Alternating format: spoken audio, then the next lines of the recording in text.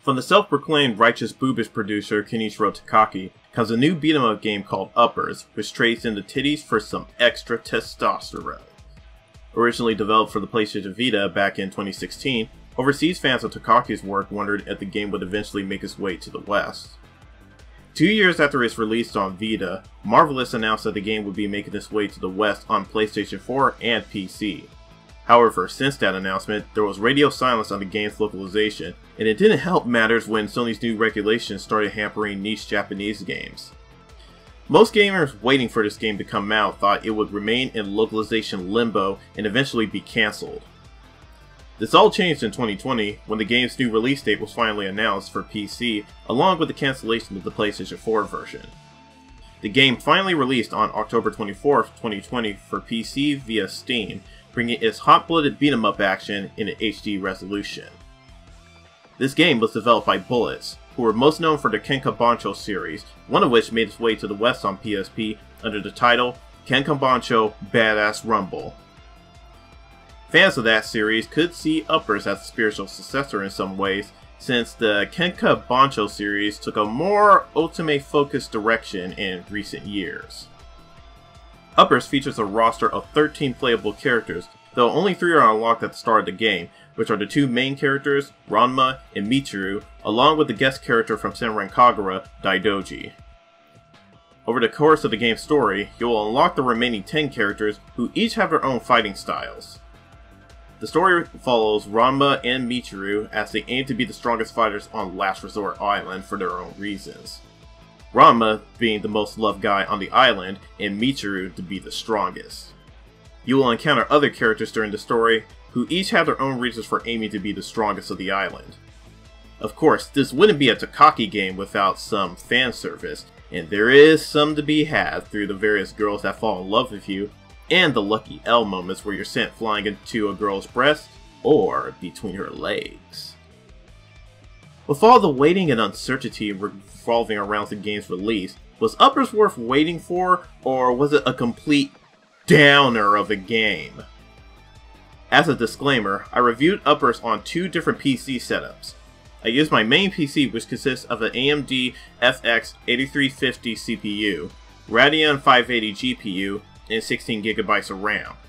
I also used my laptop, which uses an AMD Ryzen 5 CPU, GeForce GTX 1650, and 8GB of RAM. Now, let's take a look at what worked in Uppers with the good. The combat is very easy to understand since you will be using a mixture of light and heavy attacks between characters. I like the moments where the fights get intense as you bob and weave around opponents and hit them with counters and follow-up attacks. Another thing that was fun were the environmental interactions where you can knock enemies into parked cars and send them flying.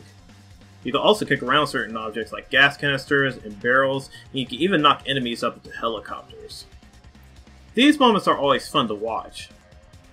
The story isn't anything deep, but I found it to be enjoyable since it gives all the characters some time in the spotlight, and it was cool to see some of their interactions as the story progressed. I like the selection of the main girls in this game, who are known as the Queens, who provide your characters with buffs during combat.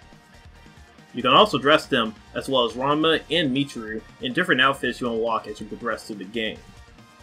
You can also change the panties of both the Queens and the fangirls you get love letters from.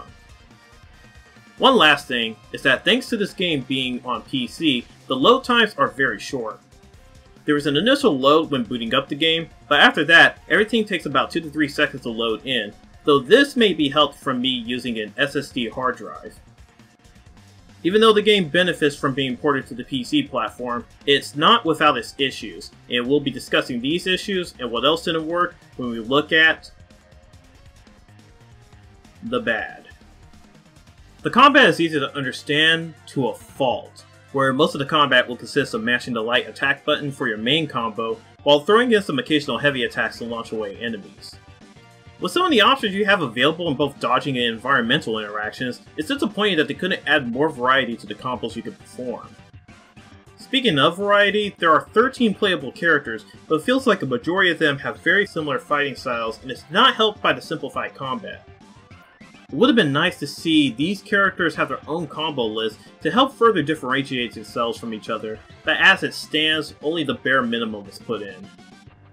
Another thing frustrating about the combat is the camera, which becomes very hard to control and starts to get in the way as it gets too close to your character or cuts off enemies that are targeting you, leading to attacks that seemingly come out of nowhere that you can't prepare for. It becomes clear which girls in the crowd are the main ones that give love letters, as from further examination, you can see the other girls only have about 3 to 4 frames of animation each. This wouldn't be something I would notice if it weren't for the side missions you complete to get the girls' love letters. Speaking of, these side missions can range from okay to downright frustrating and tedious to complete for two reasons. The first reason comes from the description of the side missions, which can be downright vague at times if it has to do with some of the context-sensitive events that happen in combat. Unless you already know what the context-sensitive event the description is telling you about, you will be completely lost as to what you need to do until you uncover it by accident. The second reason comes from being in range of the girl giving the side mission to complete, which will lead you to baiting enemies back to girls just to do whatever they told you to do, and you better hope you have enough enemies left to complete the mission with. Now, I'm no Puritan and I love my fair share of fan service, but the panty slots feel like an unnecessary distraction when it goes full screen at random. Thankfully, this can be disabled so that the flow of combat isn't disrupted. One last thing is that this game was not optimized well for PC, as it contains a plethora of bugs and glitches which start to get in the way of gameplay. Some of the bugs I ran into were character after images during the Upper Rush cinematics, your character freezing up during the pole swing events, and one instance where the enemy froze up and was unable to be hit. On my PC using the FX CPU, I experienced a lot of slowdown when the combat got hectic and when viewing the girls you meet in the journal section of your apartment. This was not apparent on my Ryzen PC, which ran pretty smoothly for the most part, so you will need an up-to-date PC for this game, despite the fact that it's a port of a Vita game. The fact that it's a port also becomes apparent when you see how washed out the backgrounds and animated videos are compared to the character models in-game. It would have been nice to have all the backgrounds upscaled for this PC port, so that the character models didn't clash with them. Now, with all that out of the way, it's time that I give the opinion. Despite all the grievances I had with the game, Uppers is a pretty fun beat 'em up when you focus on the combat and ignore the more frustrating side missions the fangirls give. The story is also fun to go through and doesn't take itself too seriously where things start to feel overly dramatic.